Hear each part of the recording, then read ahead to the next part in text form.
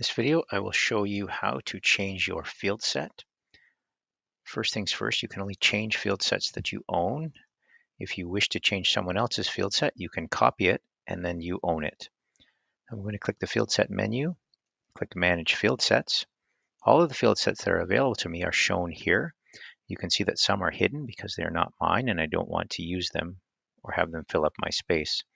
I'm going to modify the working set to do that, I will click the field set name and click Edit. On the left side of the Edit window, I have all of the fields that are available to me. And on the right side, I have all of the fields that are in the field set already. If I wish to add the student's address, the first thing I will do is sort the fields by alphabetical order.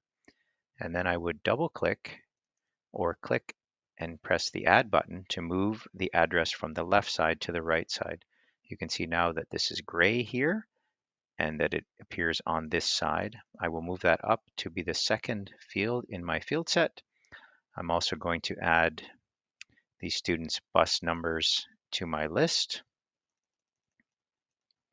And then I will click Save.